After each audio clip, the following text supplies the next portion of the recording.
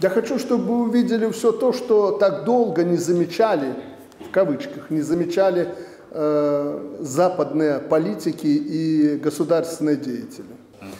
Ну а для того, чтобы поглубже этот процесс изучить, чтобы он пошел у нас, давайте определим 3-4 пилотных солидных проекта, экономических проектов, потому что экономика – база любых отношений – 3-4 проекта и реализуем их.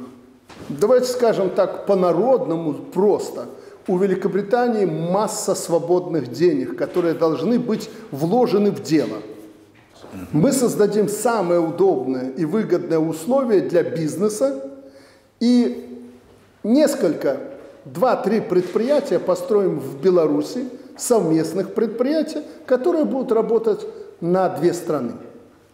А продукция этих предприятий востребована и у вас. Давайте их создадим в Беларуси.